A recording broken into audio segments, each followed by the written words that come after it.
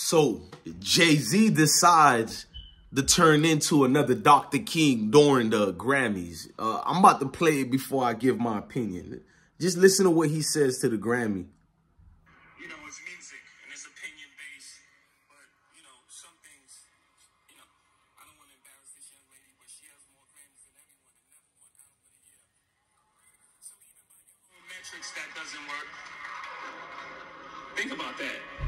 Most Grammys never won album of the year. That doesn't work.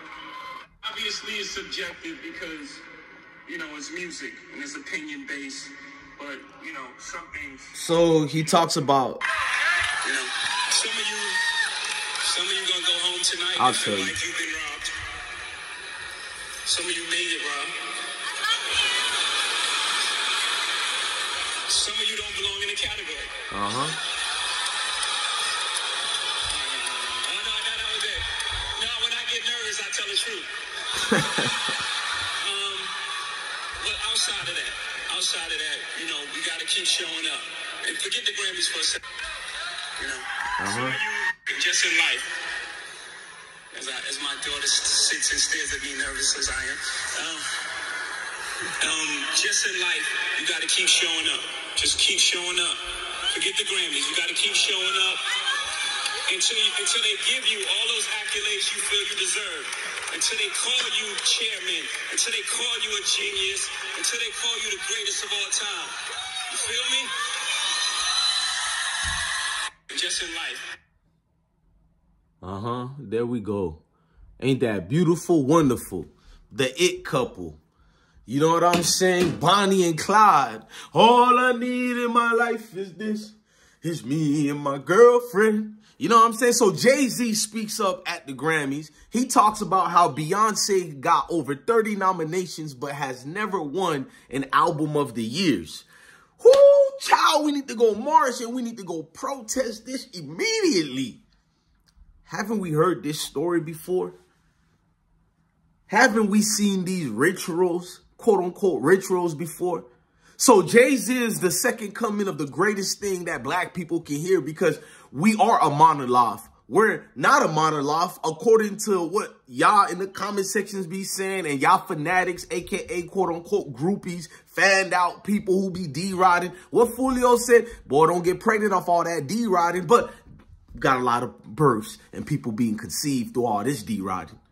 In other words, man, our people are so vulnerable, which that vulnerable part and vulnerability uh, is understandable. Our people are so vulnerable that it's understandable why we do what we do. See, they throw these faces like Jay-Z and Beyonce and give you crocodile tears as if this is the standard why we should complain and protest and march with the Grammys. So now, forget about amongst the economic parts going down with our people. Forget about you got literally no disrespect to the ladies, but they, and I understand in Queens, but the ones who are doing the abortions, you know what I'm saying? They, they, they're stuck in a situation financially or whatever. You're to call them a whore, but I do understand, like, it's been acceptable where you think this is part of life and is rightfully so. Even Preacher Pork Chop made abortion seem like it's cool. But I'm here to give you a hug, mama. I ain't here to point a finger and call you a killer like everybody else do. You feel me? We got to understand it. But what I'm trying to bring out here is we got real issues going on in our so-called community. I say so-called because y'all hate Tommy Sotomayor. And I understand he got a lot of weird ways about him. But he do got some home runs about him too, bruh. So when Tommy says about, you feel me? There's no such thing as a black. I feel there is, but I understand why people don't see this so-called community. They throw a face like Jay-Z with Beyonce problems to the world. Jay-Z could have speaked about anything on that stage. He could have said, the hell with the Grammys. Throw that bitch down. He put a drink and drinks it and y'all think unbelievable. As if we didn't see Drake drink it and all these other, or, or, or my man Sammy from the Rat Pack do it too. We seen all these people been drinking from the, but you think it's so, wow, it's so mythical. He's a writer. He's a revolutionary. What? the man who act like he was with Colin Kaepernick and yeah, that part, you feel me? Which I don't even trust Colin Kaepernick too, but that's another video for another day. Look at you niggas in the comment sections. You so emotional. Nah, man, leave your emotions out of this, man. Carl Thomas, where you at? Where you at, gang? Emotion. That's that's what you nigga you niggas is like this. They have these rituals to emasculate and embarrass you dudes and make you an all-time professional victims, bruh. You gonna be like DJ Bless One is a conservative. This has nothing to do with being a conservative, a liberal, none of that, bruh. This is just me, Mario. I ain't even DJ Bless One today, bruh.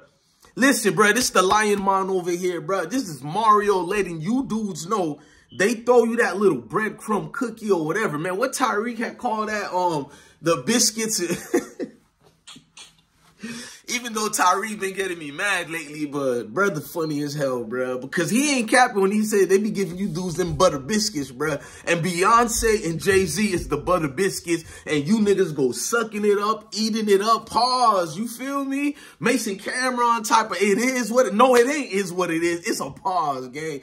And it's like, he comes in a national audience grab, he starts it off about his wife. Cool, defend your wife and all that, but this is a problem for you to complain about. The fact that she's even been nominated over 30 times, you should be grateful to that. My personal opinion, but you gonna tell me about white counterparts who got it, white counterpart, this and that. Stop doing this, bro. You're the boy who cried wolf. You're the little lady who cried wolf, bro. You ain't even Little Red Riding Hood. She was gangster. You feel me? How my New York family saying it? Gangster. You feel me? That's who Little Red Riding Hood is, bro. Like, she walked through them trails with nobody knowing the big bad wolf is over here. And other, they ain't even tell you about the other mysterious characters who was in the wood and she still walked the trail. Even Dorothy, bro. Dorothy followed that yellow brick road. But as a kid, do you remember the Wizard of Oz? Little mama walked through the yellow brick road and seen all these creatures and monsters, nigga. High or not high, nigga, I would to get the fuck out of Oz, nigga. The first time I seen a flying monkey. Like, like, what you mean, bro? These little folks standing, we represent the lollipop kid. Nigga, freaky. Freaky, baby. Like, come on, man. What I'm trying to tell you is, bro, those are the strength and trials and tribulations that you can somewhat look, but then you bounce it to Jay-Z, get it on stage to cry about that. Basically, he tried to say in a nutshell that the Grammys don't care about us. Some artists don't even belong in these categories. But here's the problem. Why not get on stage and be like, fuck the Grammys. We need to stop going through it. And I don't even want to hear him say it because they've been saying this for the last 20 something years. And if you want to go longer, shout out to the people who really fought the fight, but they got tired of fighting the fight. They've been going at the Grammys for the last 50 something years, factual. And if we can go even longer than that, but I, I don't know that part. And I was told by an old wise man, stick to what you know. You feel me? Like, let, let's just be honest, bro. The man is a puppet and got the puppeteers all in his backside in his four point of contact. They done stuck it up in his four point of contact. Google, nigga. Google is your friend. You got a smartphone in your hand and you never use it. You just get in the comment, you lying. Not one time did you fact check, but I'm a liar. All right, back to Jay-Z. The man goes in the ritual. He does all that crying and the proponents in the comment section is going wild. We love Jay-Z. He stood up for us. But guess what? Who gets executive parts of these committees? Who gets part of the boards in these committees? Jay-Z. So you couldn't make a change behind the scenes already? And they benefit you, give you something on camera, and you use it as a moment to put the pitch to keep us as professional victims. Professional victims.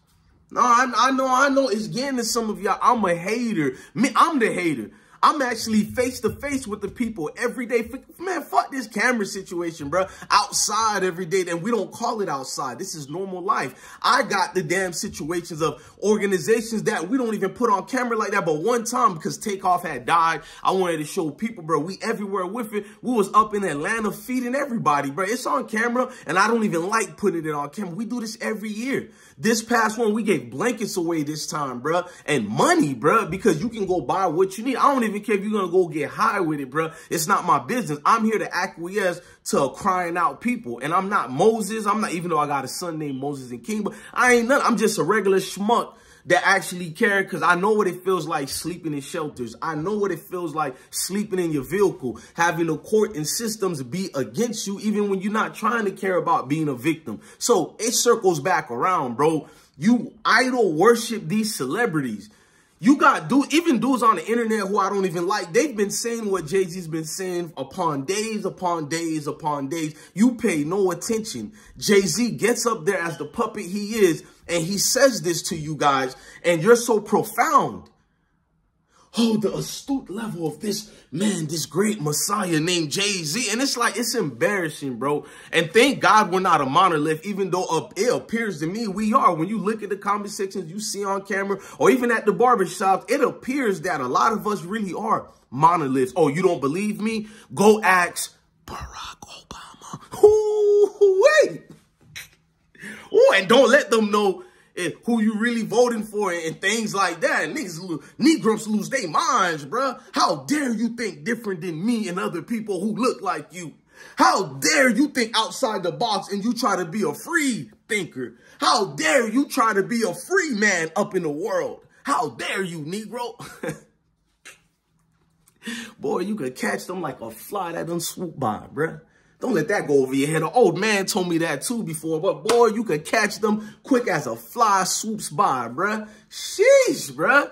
To the embarrassment I feel, bruh. In no other form of culture or community will you see the groups of people and masses look upon their quote unquote celebrities or quote unquote for you Negrumps, your gods. They would never look at these people, these court jesters that the world is being given to entertain as some type of symbolism of freedom, fight, struggle. Like, but here comes us. Once again, like I said before in the video, we're so vulnerable that it's understandable how easy it is when one of these Negrums get on stage and they fight the fight and raise the fist up and